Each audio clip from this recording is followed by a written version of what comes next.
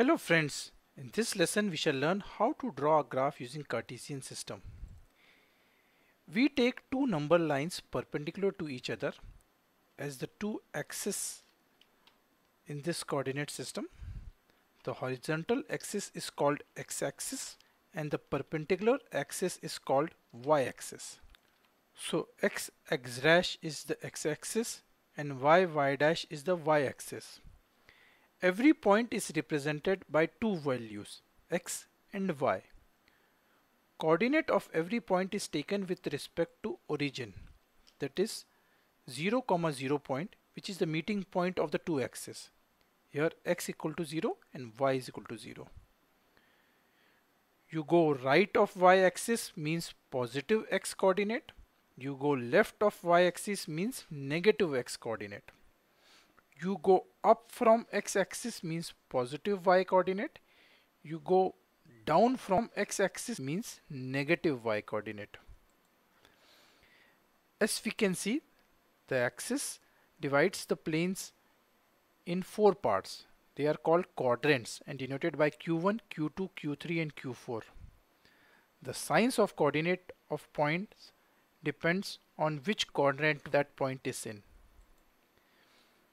if we take any point in quadrant 1, here x is positive as it is right of y-axis and y is also positive as it is above x-axis.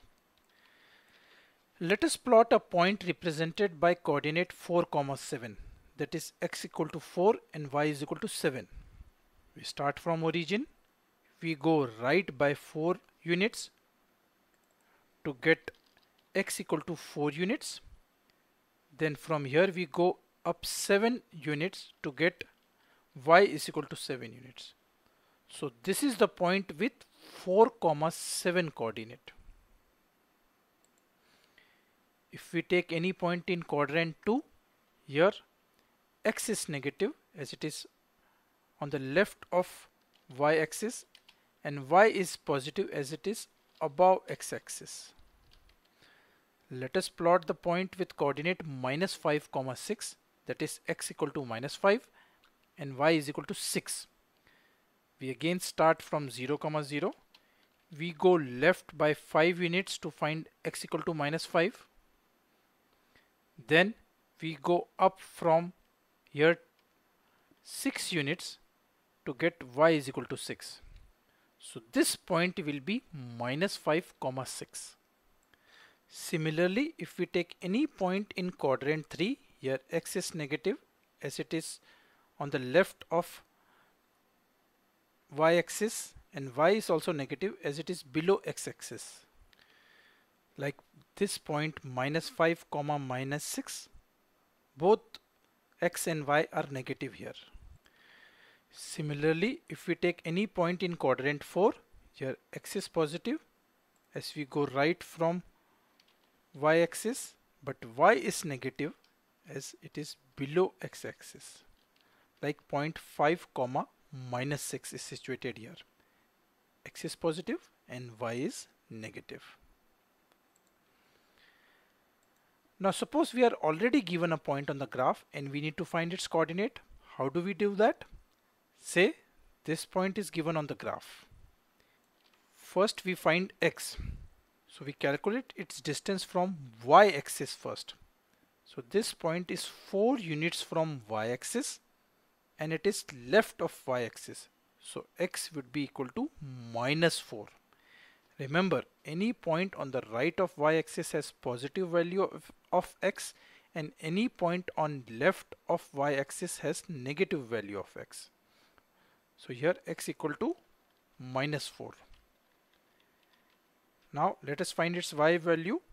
This point is 3 units from x-axis and it is above x-axis. So y is equal to plus 3. Remember any point above x-axis has positive value of y and any point below x-axis has negative value of y.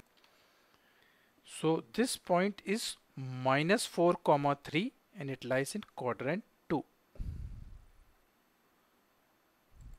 Let us take another example. Say we need to find the coordinate of this point on the graph. So we calculate its distance from y-axis first. So this point is 5 units from y-axis and it is right of y-axis. So x will be equal to plus 5. Now let us find its y value. So this point is 4 unit from x-axis and it is below x-axis. So y is equal to minus 4. So this point is 5 comma minus 4 and it lies in quadrant 4. That's all for now. Bye bye.